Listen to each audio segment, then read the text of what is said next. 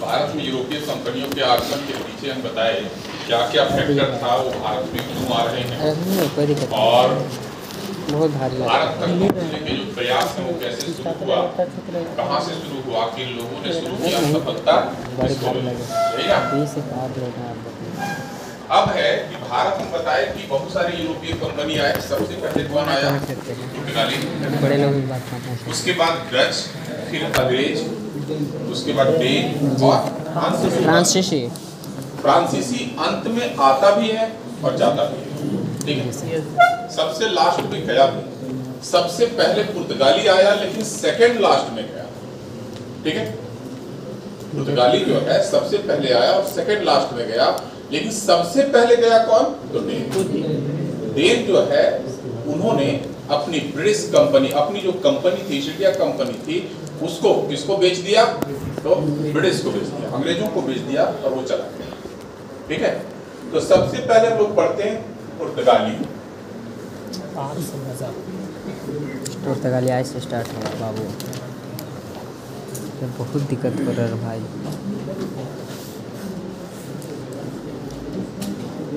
पुर्तगाली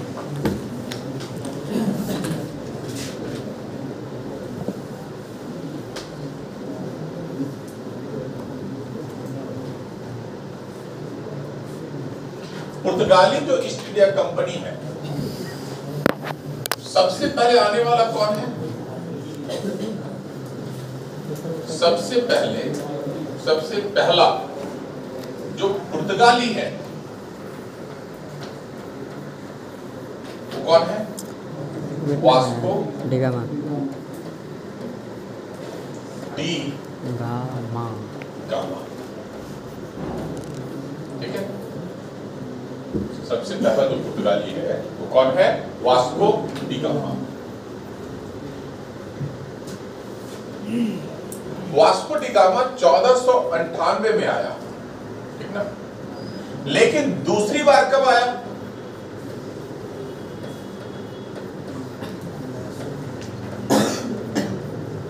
दूसरी बार कब आया भारत? ये दूसरी बार आता है ये रख इसको, रखना जगह में 1502 ईस्वी। में दूसरी बार ये भारत कब आया? 1502 ईस्वी। में लेकिन अगर कभी क्वेश्चन पूछ दे कि भारत आने वाला दूसरा पुर्तगाली कौन है? है ना? जी सर दूसरी बार तो आया है 1502 में लेकिन दूसरा पुर्तगाली कौन है? पहला पुर्तगाली तो है वास्को डिगामा तो दूसरा जो पुर्तगाली है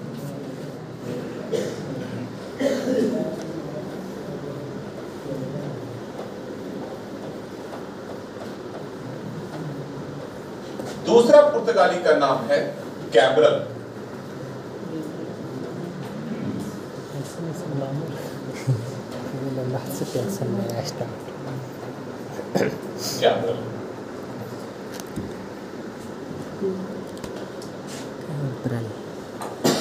भारत पहला पुर्तगाली कंपनी की स्थापना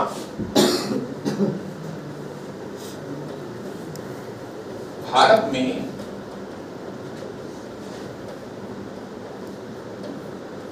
पहली पुर्तगाली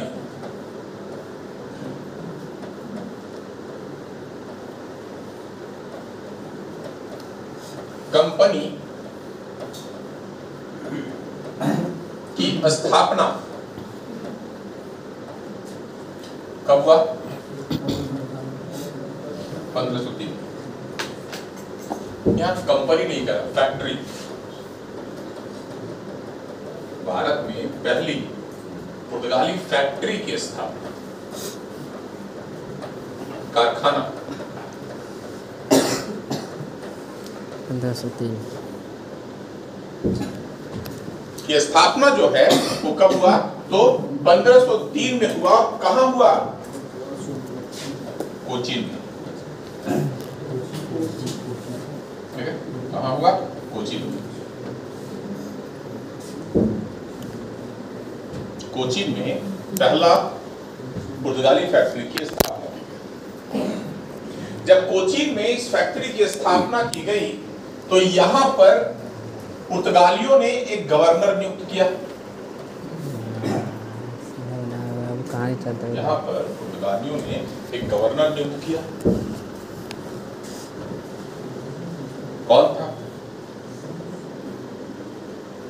वो गवर्नर। पहला पुर्तगाली गवर्नर कौन है?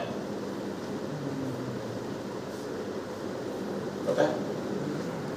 उससे पूछेगा कि भारत में पहला पुर्तगाली गवर्नर कौन है?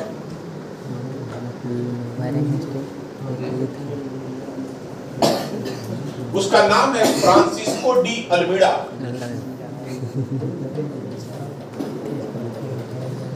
Francisco de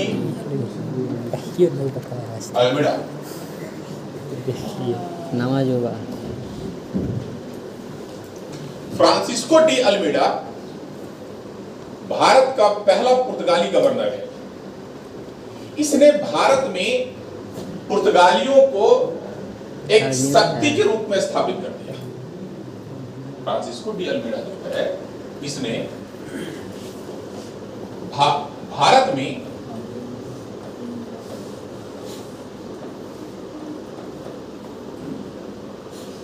पुर्तगालियों को राजनीतिक शक्ति के रूप में स्थापित किया।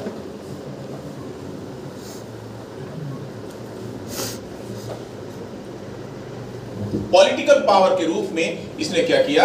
भारत में इसे स्थापित कर दिया। क्या किया था इसने? अल्मीड़ा ने एक पॉलिसी लाया। अल्मीड़ा के द्वारा एक पॉलिसी लाया गया। नीति, उस नीति को बोला जाता है नीला, जल blue water policy of blue water policy of blue water इसने ब्लू वाटर पॉलिसी दिया और ब्लू वाटर पॉलिसी के तहत अगर अरबियन सी में अगर कोई व्यापार करता है तो उस व्यापार के बदले पुर्तगालियों को क्या देना होगा? टैक्स देना होगा। पुर्तगालियों को अगर कोई अरबियन सी के थ्रू भारत से व्यापार करता है तो उसे टैक्स देना होगा। क्यों टैक्स देना होगा? इसलिए क्योंकि इस रूट को उन्होंने ही ढूंढ निकाला है। तो अरबियन सी को अल्मीड़ा ने अपना एक राजनीतिक क्षेत्र के रूप में परिभाषित किया, इस क्षेत्र के रूप में परिभाषित किया इसने एक पॉलिसी थी पॉलिसी ऑफ़ ब्लू वाटर इसके तहत, इस नीति के तहत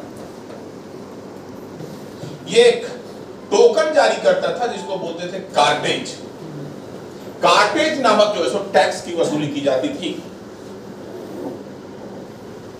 पुर्तगाली जो है, ये कार्टेज नामक टैक्स की वसूली करते थे और ध्यान रखेंगे, ये टैक्स अकबर भी दिया था। ये जो टैक्स है ये टैक्स पुर्तगालियों को अकबर भी दिया था। कार्टेज है। यहाँ पर जो है पुर्तगाली बहुत मज़बूत हो गए।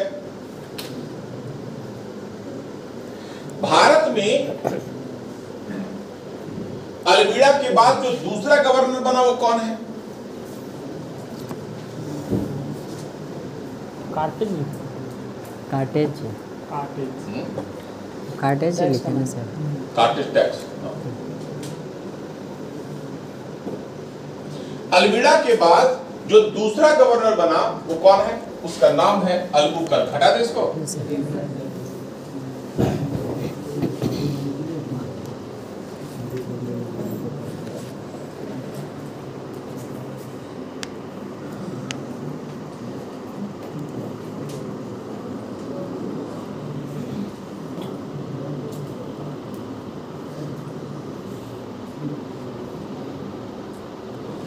कौन है राज़ी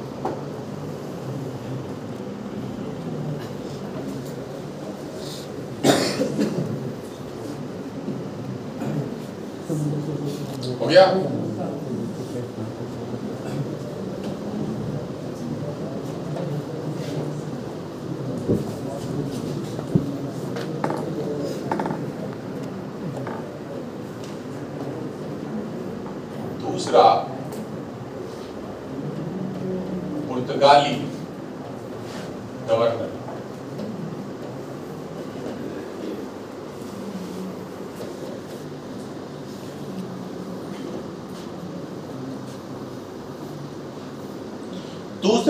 पुर्तगाली गवर्नर का नाम है Alfonso.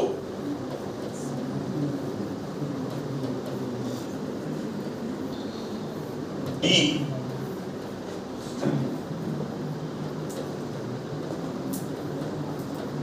Albuquerque.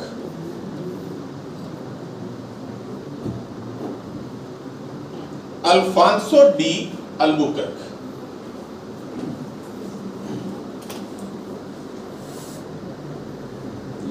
Alfonso de Albuquerque.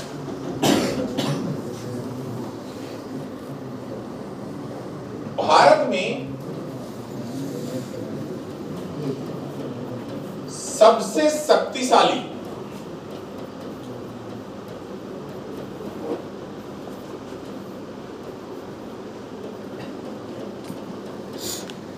पुर्तगाली गवर्नर था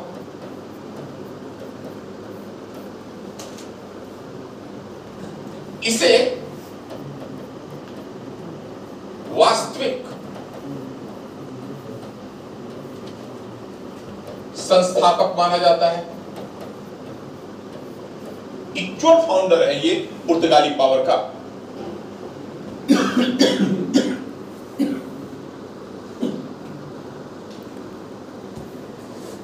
ये जो है, वास्तविक संस्थापक है। इसने भारत में 1509 से 1515 ईस्वी तक शासन किया कार्य किया ये जो है ये भारत में 1509 से 1515 ईस्वी तक कार्य किया क्या क्या किया इसने? सबसे पहले यह भारत में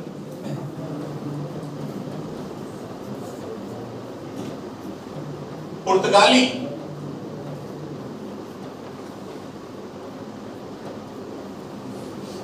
जनसंख्या बढ़ाना चाहता था ये जो है भारत में पुर्तगालियों की जनसंख्या को बढ़ाना चाहता था। इसके लिए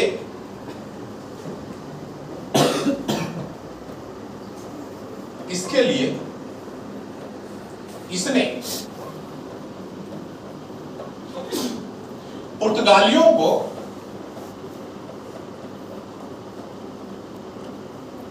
पुर्तगालियों को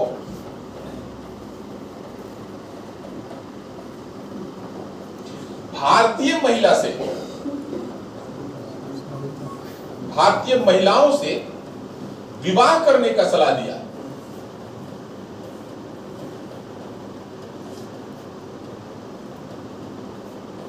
इसने पुर्तगालियों को सलाह दिया कि वे भारतीय महिलाओं से विवाह करें, जिससे भारत में पुर्तगालियों की जनसंख्या में वृद्धि हो सके।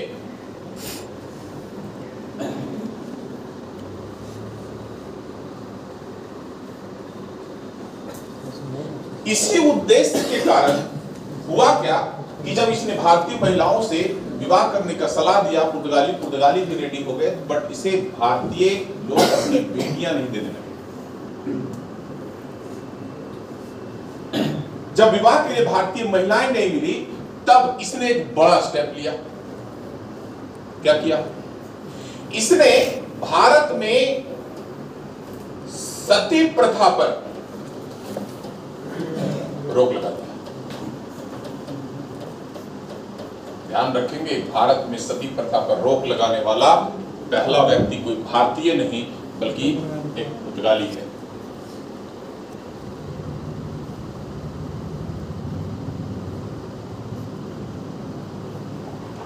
इसलिए इसे एक सामाजिक सुधारक के रूप में भी देखा जाता है।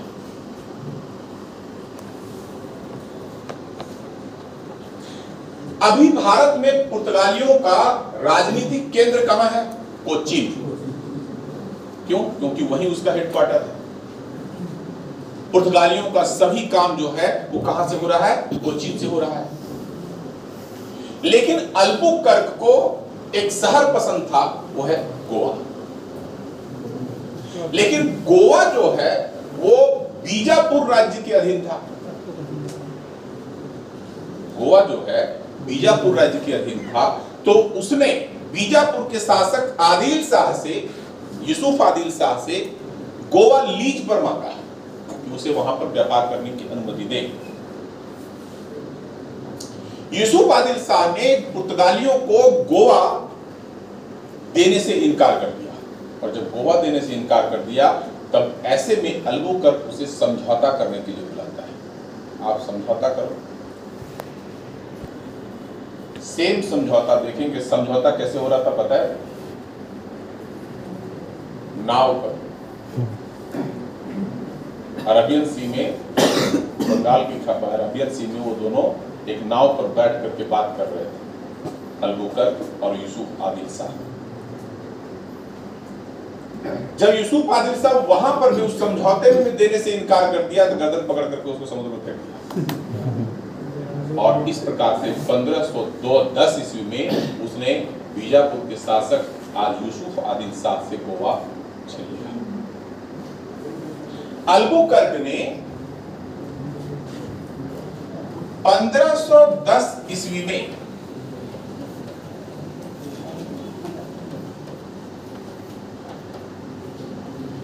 अल्बुकर्क ने अल्बुकर्क ने यूसुफ आदिल शाह से।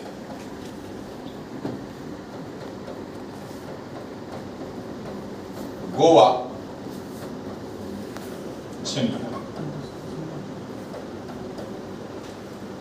क्वेश्चन पूछेगा कि यूसुफ आदिल शाह कहाँ का था? नहीं तो बीजापुर के शासक। किससे छीना? तो यूसुफ आदिल शाह से।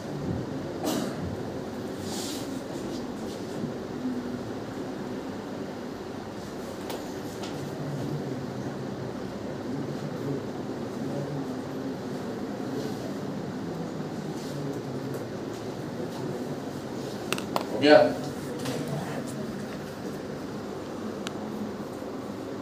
अल्बुकर्क के बाद पुर्तगाली गवर्नर कौन बना? हटा दे इसको।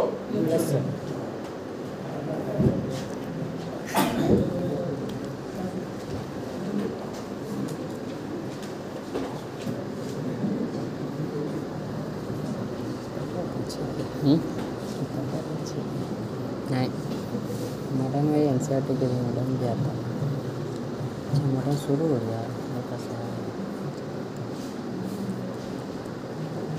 हो गया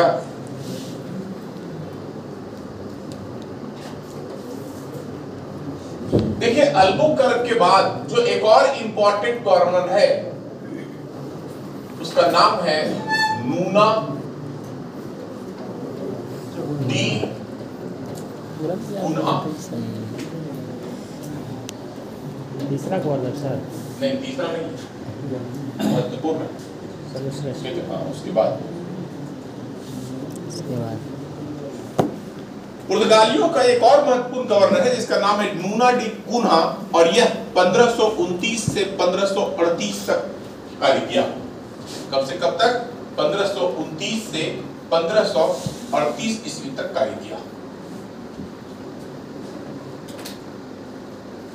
इसके काल में जो सबसे महत्वपूर्ण काम हुआ वो ये कि 1530 में पुर्तगालियों की राजधानी, इसके शासनकाल में जो सबसे महत्वपूर्ण काम हुआ, ये पुर्तगालियों की जो राजधानी है वो गोवा से कहा चला गया? तो नहीं कोचीन से गोवा कोचीन से गोवा हस्तांतरित हो और गोवा जो है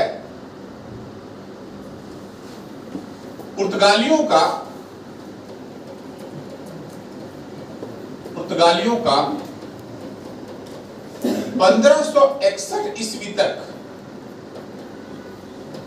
राजधानी रहा। पंद्रह सौ बोल रहे उन्नीस सौ। उन्नीस सौ इकसठ ईस्वी तक अंत तक कह सकते हैं कि पुर्तगालियों की राजधानी रही।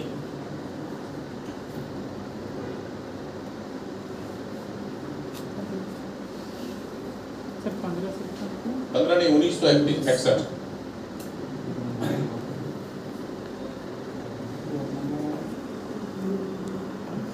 इसी ने 1534 इसमें गुजरात से दमन और दीव छीन लिया। इसने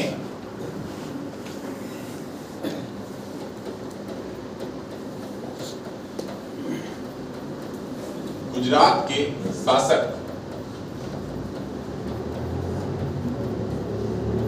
बहादुर शाह से दमन और दीव शासक छीन लिया कब 1534 में। और इसी बहादुर शाह का सेनापति था कौन? कौन? हम्म? हेमू। हेमू हेमचंद्र विक्रमादित्य। तो आदिल शाह का ना था। इसके काल में? आदिल आदिल शाह जो रहेगा वो आदिल शाह के काल गुजरात उसी का है ना? बहादुर शाह का बहादुर शाह ज़फ़र। बहादुर शाह ज़फ़र नहीं। बहादुर शाह शाह शाह ज़फ़र अठारह कितना साल का अंतर है? तीन सौ साल का अंतर वो मुगल शासक है। ये कहा? बीजापुर का शासक है। हाँ? कौन? नहीं। सिया। अरे बहमन स्टेट आप लोग को बताए? शाह वंश बताए थे ना? तो यहाँ पर जो है यहाँ पर देखेंगे कि इसने गुजरात के शासक बहादुर शाह से दमन और दीव छीन लेता है। इसने अपना व्यापार का क्षेत्र बेसिकली पश्चिमी भारत में ही, गुजरात, बॉम्बे, दमन दीव को चीन और दक्षिण भारत तक सीमित रहा। यह व्यापार करके विस्तार कर रहा था। तभी भारत में प्रवेश करता है कौन? डच और अंग्रेज़। डच और अंग्रेज़ भारत में जब अंग्रेज़ी ईस्ट इंडिया कंपनी आती है तो अंग्रेज़ी ईस्ट इंडिया कंपनी का संबंध या संघर्ष पुर्तगालियों से भी होता है और डचों से भी होता है। जब पुर्तगालियों से जब युद्ध हुआ तो बहुत सारा युद्ध हुआ था, जैसे battle of Chaul battle of Diu इन सब में अंग्रेज़ों ने बार बार पुर्तगालियों को पराजित किया। अंततः पुर्तगालियों ने अंग्रेज़ों के साथ बेहतर संबंध बनाने के लिए मैरिटल रिलेशनशिप बना दिया। पुर्तगालियों की राजकुमारी है कैथरीन।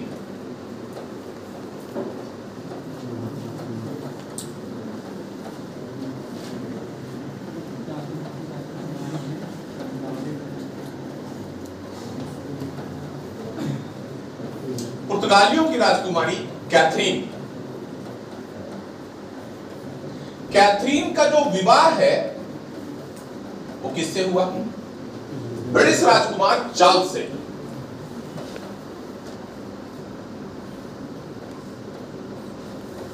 ब्रिटिश राजकुमार चार्ल्स से।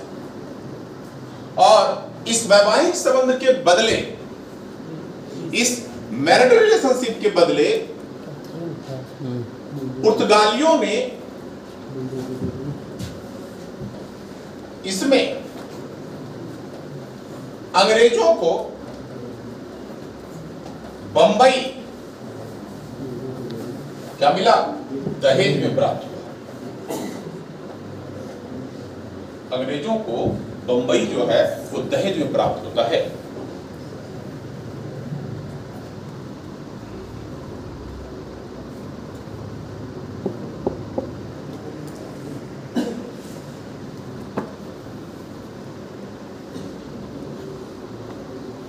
गया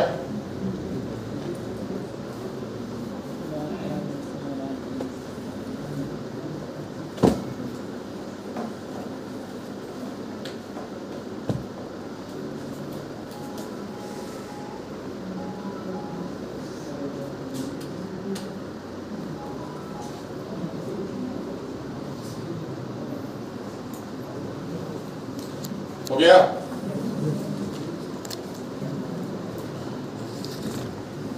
इस वैवाहिक संबंध के बाद जब अंग्रेज़ों के हाथ से बंबई निकल जाता है तो धीरे धीरे पुर्तगालियों की शक्ति जो है सीमित हो जाती है और वह अपना व्यापार का क्षेत्र गोवा और दमन द्वीप तक करता है।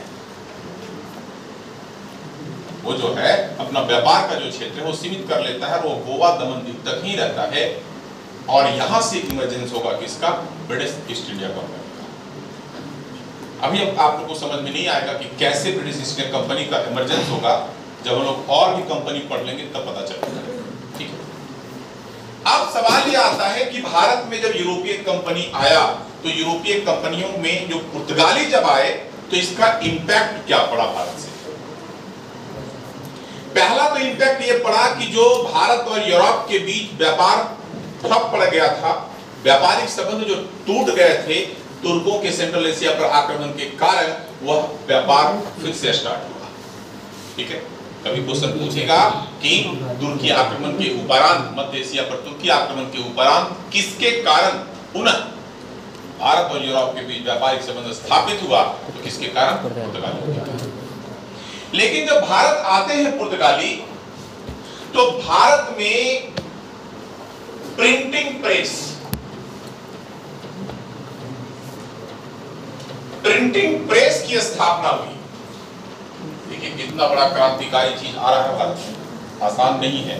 अभी हम लोगों को लग रहा है सामान्य चीज़ें हैं लेकिन ये एक रिवोल्यूशनरी कदम है। ये अकबर की गलती है कि इसे उस समय अडॉप्ट नहीं किया गया।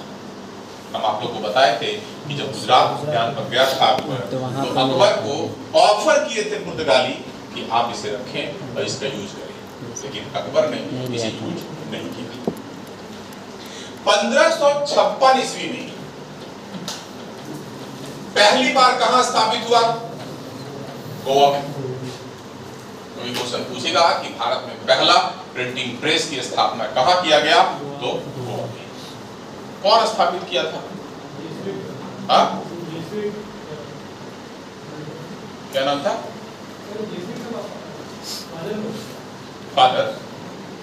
जेम्स एगस्टस हिक्की है कौन है? जेम्स एगस्टस हिक्की दूसरा चीज़ क्या हुआ?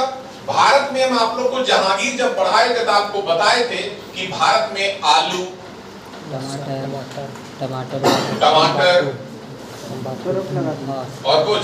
तंबाकू तंबाकू मिर्ची। तंबाकू।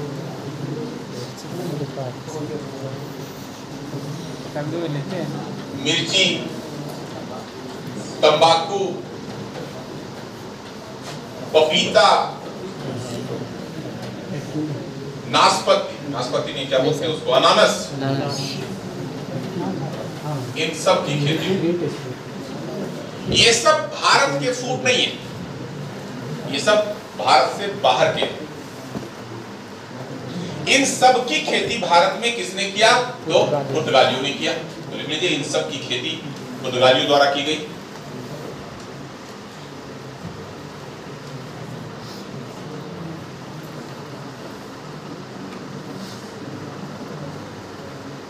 और किसी चीज़ का खेती किए हैं ये? मक्का का भी खेती किए हैं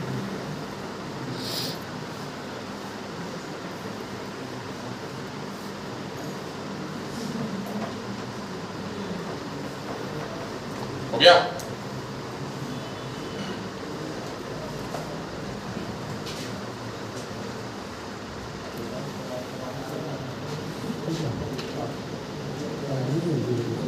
डच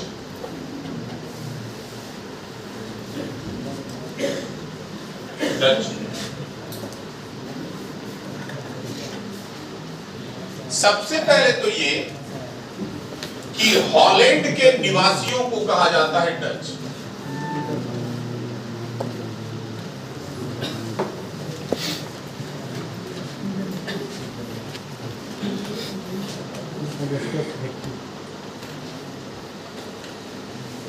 हॉलैंड के निवासियों को क्या कहा जाता है डच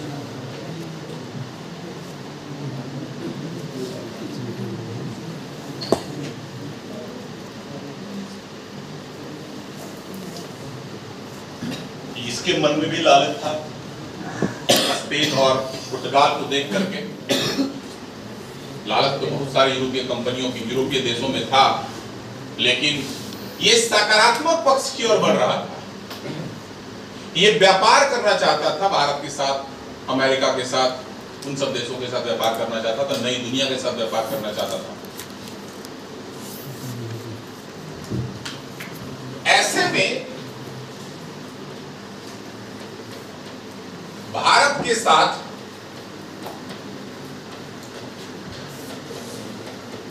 व्यापार करने के लिए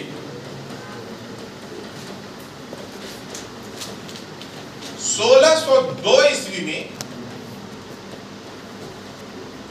डच ईस्ट इंडिया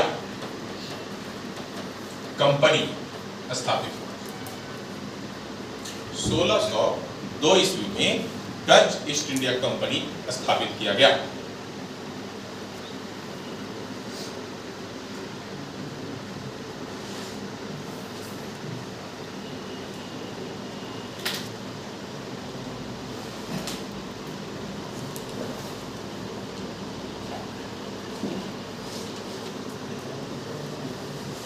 इसने अपना पहला फैक्ट्री कहाँ स्थापित किया इसने सूरत अपना इंजीनियर हो पहला फैक्ट्री कहाँ स्थापित किया सूरत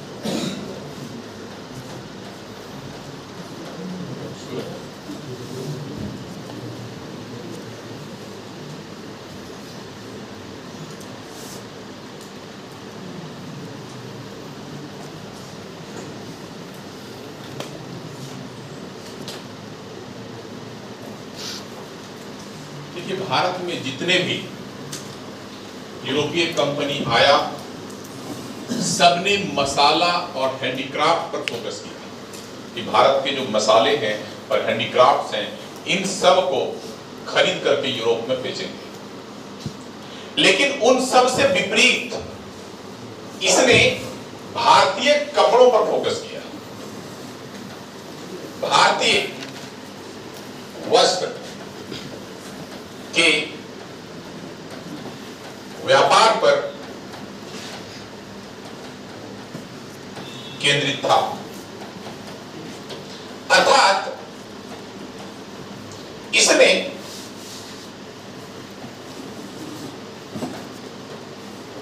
यूरोप को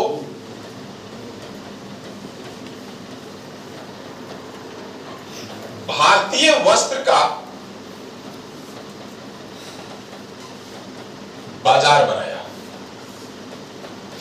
अर्थात इसने यूरोप को भारतीय वस्त्र का क्या बनाया बाज़ार बनाया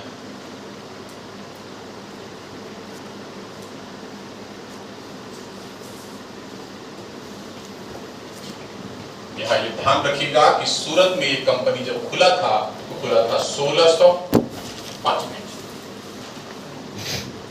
1605 ईस्वी में ये कंपनी खुली थी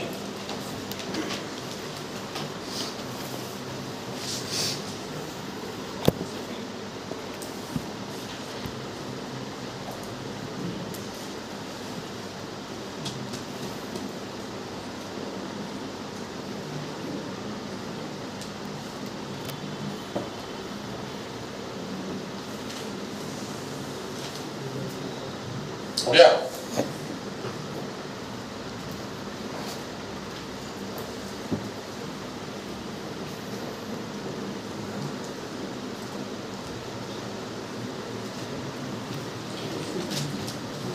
भारत में जब यूरोपीय company Dutch East India Company जब व्यापार कर रहा था तो इसने भी अपना व्यापारिक फैक्ट्री मसूलीपट्टनम में कोचिन में, कालीकट में, इन सब में जो स्थापित किया। और धीरे धीरे कपड़ों के व्यापार से ये भी भारतीय भारत के हैंडीक्राफ्ट और क्या मसालों के व्यापार पर फोकस हो गया। जैसे ही ये कपड़े के व्यापार में समृद्ध हो गया, कपड़ों के व्यापार पर अब जो सो फोकस होने लगा कौन? British East India Company British East India Company का भारत में भी सबसे बड़ा प्रतिद्वंदी है कौन? डच तब देखेंगे क्या कि डचों और अंग्रेज़ों के बीच भारतीय व्यापार पर मोनोपोली को लेकर के भारतीय प्रोडक्ट पर एकाधिकार को लेकर के एक युद्ध होगा। कौन सा? बैटल ऑफ़ बेदरा ठीक है। भारतीय व्यापार पर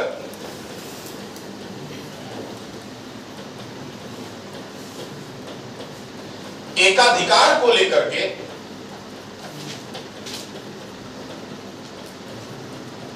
अंग्रेज़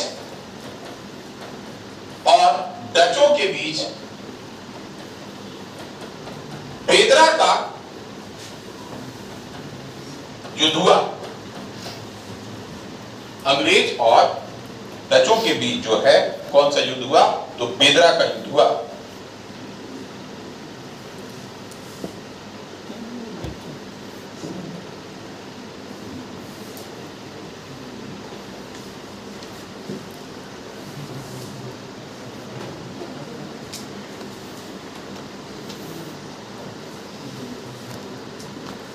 जब बेटला बैटल ऑफ़ बेदरा के बाद युद्ध होता है तो इस युद्ध के बाद डच कंपनी कहाँ शिफ्ट हो जाता है? मसाला द्वीप। ये जो है, ये कहाँ शिफ्ट हो जाता है? मसाला द्वीप। और मसाला द्वीप क्या है? इंडो नेसिया और जावा सुमात्रा। इंडोनेशिया और Java Sumatra. Indonesia Java Sumatra को मसाला द्वीप, स्पाइस आइलैंड के नाम से भी जाना जाता है।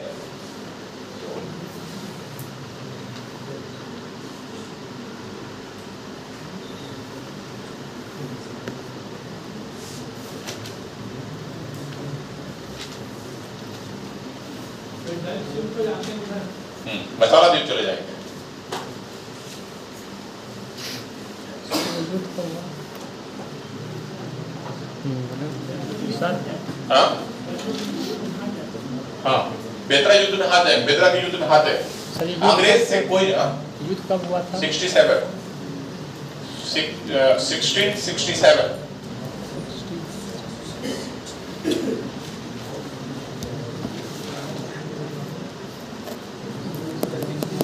1667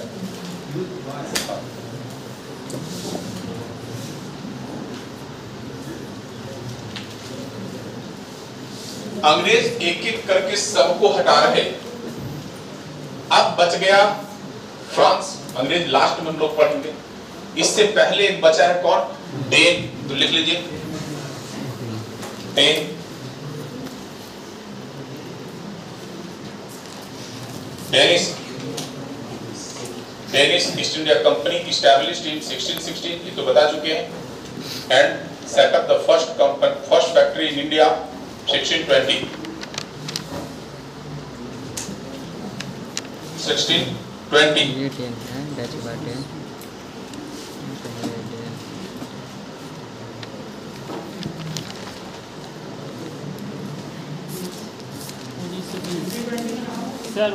हेलो हाँ, त्रावणकोर केरला हाँ क्या हुआ हो त्रावणकोर केरला का त्रावणकोर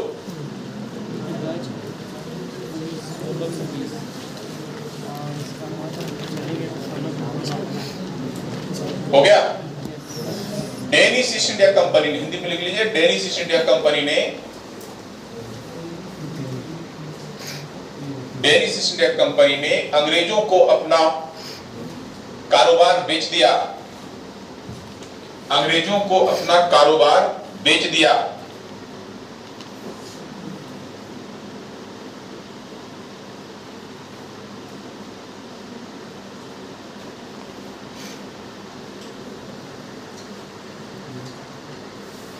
हो गया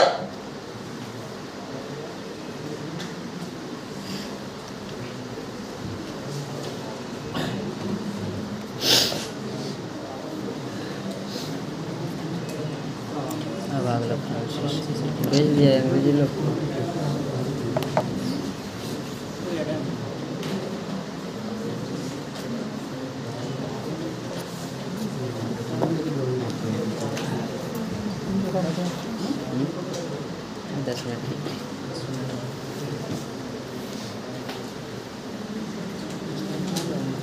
फ्रांसीसी ईस्ट इंडिया कंपनी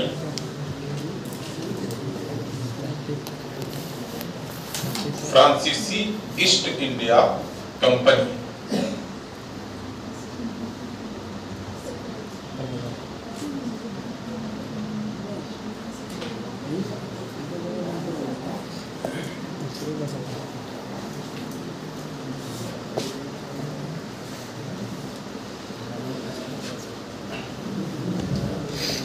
देखिए भारत भारत नहीं यूरोप में दो राजवंश है ठीक है? दो सबसे पहले देश जान लीजिए एक ब्रिटेन और दूसरा फ्रांस।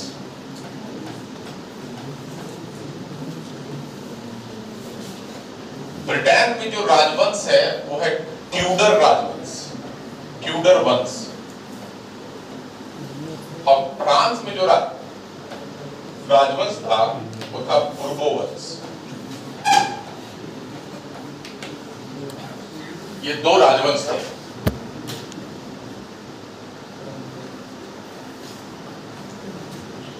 फ्रांस यूरोप का सबसे शक्तिशाली राज्य है। फ्रांस जो है, वो अभी यूरोप का सबसे शक्तिशाली राज्य है। वंश सर? वंश ट्यूडर ट ट्यूडर ठीक है? तो फ्रांस क्या करता था? यूरोप के जितने भी बड़े देश थे उसको तोड़ देता था। और ऐसा तोड़ता था कि वो डेवलप ना कर सके। उसके पास मिनरल्स के डिस्ट्रीब्यूशन ऐसे होते थे या फिर व्यापार वाणिज्य को लेकर के ऐसा होता था कि वो कभी भी एक संगठित ना हो सके और कभी उन सब में मित्रता ना हो सके फोड़ करके रखता था। फुट डालो राज करो की नीति के तहत फ्रांस काम करता था पूरे यूरोप में। अमेरिका की तरह। हाँ? अमेरिका अमेरिका जैसे पूरा यूरोप के लक्षण यही है। आज भी अमेरिका तो अमेरिका में है कौन? यूरोपियन है। लेकिन वहाँ के जो रेड इंडियन है, वो सब नहीं करते। होटल और राजकरों की नीति का नहीं जाते। इसीलिए तो वहाँ पे उन लोगों का शोषण होता है एक्सप्लोटेशन होता है। तो अंग्रेज़ जहाँ जहाँ रहेंगे, यूरोपियन जहाँ जहाँ रहेंगे, वो फूट डालो राज करो की नीति के तहत काम करेंगे ही करेंगे। यूरोपियंस किसी का अच्छा दोस्त नहीं हो सकता। किसी का खुद का अच्छा दोस्त नहीं होता तो दूसरे का कहाँ से? तो ना भारत का दोस्त रूस हो सकता है, ना फ्रांस हो सकता है कोई एशियन कंट्री ही भारत का दोस्त बन सकता है। अब बोलेंगे, सर, रूस तो है। रूस इसलिए है क्योंकि हम उससे हथियार खरीदते हैं। जिस दिन हथियार खरीदना बंद कर देते देखते हैं पाकिस्तान से चिपक जाता है। चिपक जाता है ना? आज उससे हथियार खरीदना हम बंद कर देंगे। कल को तो पाकिस्तान को बोलेगा हाँ हाँ बहुत अच्छा कर रहा है वो। ताली बजाएगा आज खरीद लेंगे, फिर पाकिस्तान को सजा देना शुरू कर देगा वो। तो उन लोगों का है। आप बोलेंगे, सर, फ्रांस भी तो बहुत अच्छा है। फ्रांस भी तब तक साथ देगा जब तक हम उससे सामान खरीद रहे अभी देखिए ना, वो न्यूक्लियर डील रद्द कर दिया फ्रांस। न्यूक्लियर डील नहीं सबमरीन डील कर, रद्द कर दिया। बोला हम नहीं देंगे। क्यों नहीं देंगे? तो फ्रांस का एक कंपनी है अरेवा। पता नहीं, आप लोग जानते होंगे, अरेवा कंपनी है जो भारत में न्यूक्लियर प्लांट्स को बनाने के लिए काम कर रहा है। बहुत सारा टेंडर मिला है उसको दो तीन जगह का। बट वो और टेंडर चाह रहा था। और चाह रहा था कि उसका जो प्रॉफिट है, वो प्रॉफिट वो अपना ले जाए। लेकिन उसके साथ कुछ कॉन्ट्रैक्ट हुआ था। मनमोहन सिंह की सरकार की थी कि उसका जो इन्वेस्टमेंट का जो प्रॉफिट होगा, वो भारत में ही इन्वेस्ट करेगा। तो उन सब शर्तों को लेकर के फ्रांस भी जो है, सो हमेशा लाभ पर रखे रखेगा, तभी देगा। ऐसा नहीं है वो फोकट में दे देगा, वो पैसा देंगे तभी देगा।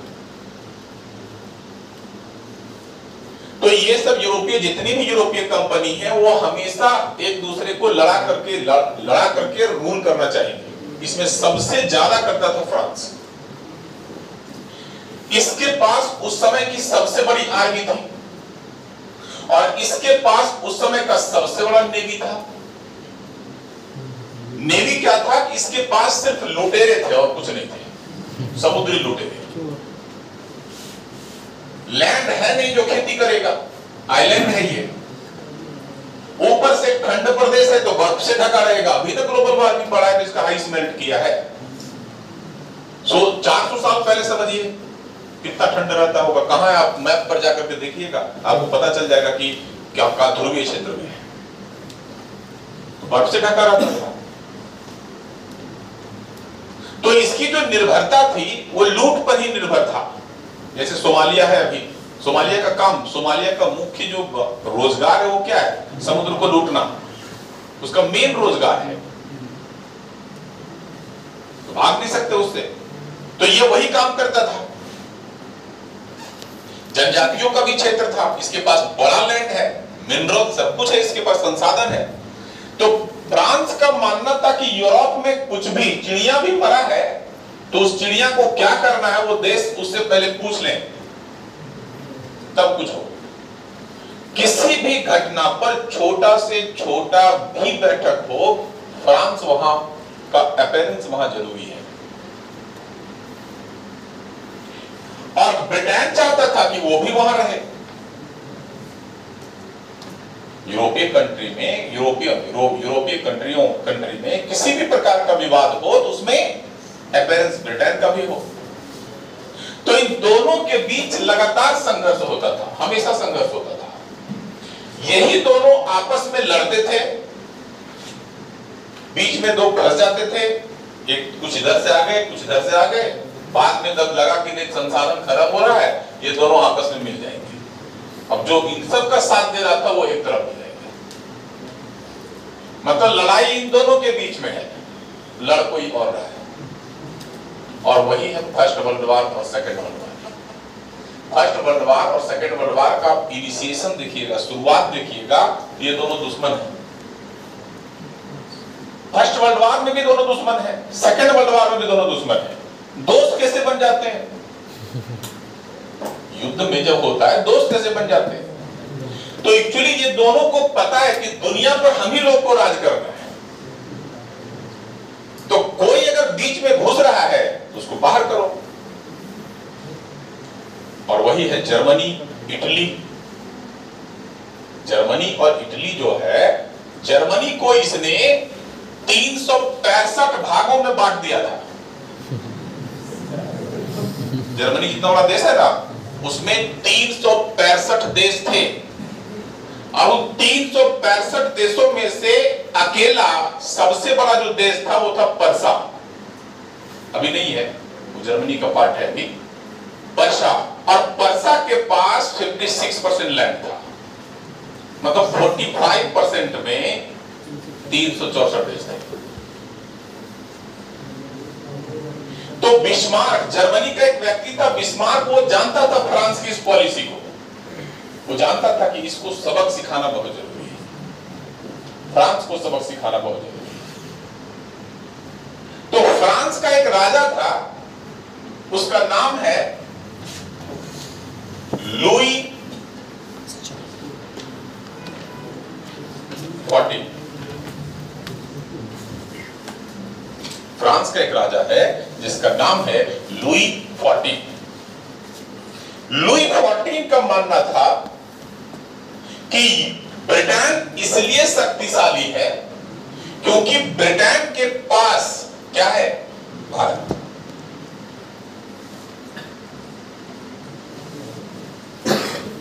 ब्रिटेन जो है, इसलिए शक्तिशाली है क्योंकि उसके पास क्या है? भारत। है तो अगर उससे भारत हम छीन लेते हैं तो ब्रिटेन कमज़ोर हो जाएगा। और ब्रिटेन कमज़ोर हो जाएगा तो यूरोप में जो इसका अपेरेंस है, वो खत्म हो जाएगा। ये उठ खड़ा नहीं हो पाएगा। अमेरिका यही किया रसिया के साथ। आपको क्या लगता है कि भारत अगर रसिया से हथियार खरीदता रहता तो रसिया को तोड़ देता अमेरिका नहीं तोड़ पाता रसिया तभी तक हिम्मत वाला था जब तक भारत उससे हथियार खरीद रहा था 1991 खरीदता अभी भी है। लेकिन पूरी तरह से डिपेंडेंसी रसिया पर थी। लेकिन 1991 के बाद भारत में बहुत सारे मिसाइल प्रोजेक्ट काम किए अब देखिएगा उस समय हिस्ट्री पे जाकर के उस समय क्योंकि डीआरडीओ के चेयरमैन बन जाते हैं कौन? कलाम। तो जब बनते बहुत सारा मिसाइल का प्रोजेक्ट लाते हो तो वो मिसाइल का जो प्रोजेक्ट लाते हैं, अब रसिया से हम हथियार आयात करना बंद कर दिए। धीरे धीरे उसका इनकम घटने लगा। और जब इनकम घटने लगा तो अमेरिका और रसिया के बीच जो वार चल रहा था बाइपोलर जो वार था आवाज़ तो वही थी रसिया की, पर संसाधन तो है नहीं उसके पास। तो युद्ध कोई नहीं चाहता। पब्लिक कभी युद्ध नहीं चाहता। युद्ध हो, क्योंकि पता है सबको कि युद्ध का मार उसी पर पड़ेगा, टैक्स उसी का बढ़ेगा। खाने की कमी उसी को होगी, संसाधनों की कमी उसी को होगी। राजा को क्या है? राजा अपने प्रतिष्ठा को बढ़ाने के लिए, शक्ति प्रदर्शन करने के लिए युद्ध करता रहता है। तो जैसे युद्ध में इन्वॉल्वमेंट हुआ था, विद्रोह हो गया रसिया में। अलगाव की मांग करने लगे। तो यहाँ पर भी देखेंगे क्या कि फ्रांस का मानना था कि इसको आर्थिक रूप से कमज़ोर कर दो और आर्थिक रूप से कमज़ोर करने के लिए उससे भारत छीन लो। लुई फोर्टीन साधारण आदमी नहीं है, दुनिया के ताकतवर देशों में से एक, ताकतवर राजाओं में से एक है। पता है इसका हाइट कितना था? सात फीट नौ इंच।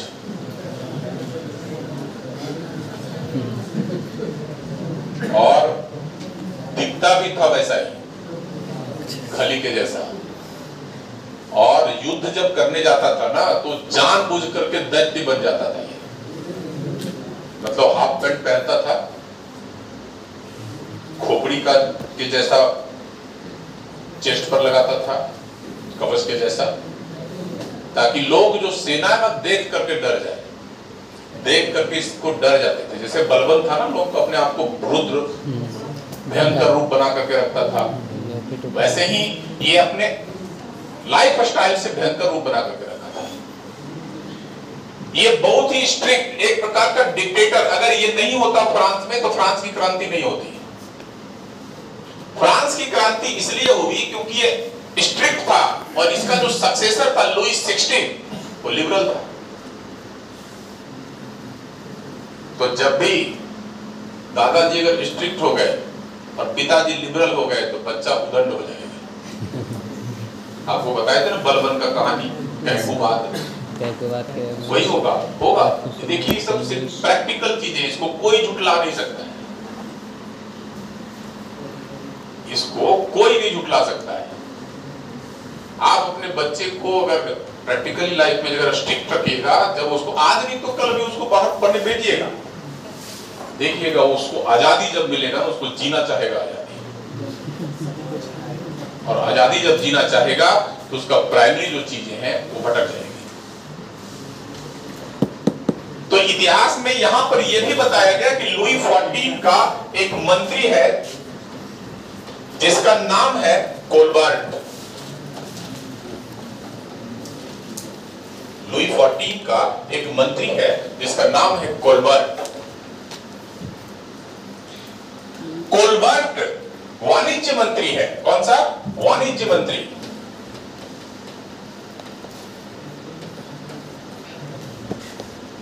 तो लुई फोर्टीन के मंत्री कोलबर्ट ने फ्रांसीसी ईस्ट इंडिया कंपनी स्थापित किया सोलह में। इसने फ्रांसीसी ईस्ट इंडिया कंपनी स्थापित किया सोलह में।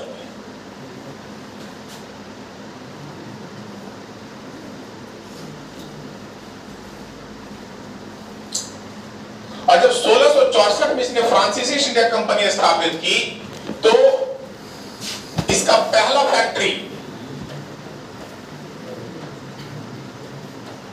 प्रथम जो फैक्ट्री है, वो कहाँ खुला? सूरत में। इसको कंपटीशन लेना है, क्योंकि सूरत ही अभी गढ़ है किसका, अंग्रेज़ों का।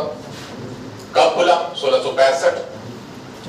सोलह सौ चौसठ में ही खुल जाता है, दिसंबर में ही। 1664 में ये पहली फैक्ट्री भी खुल गई इसकी।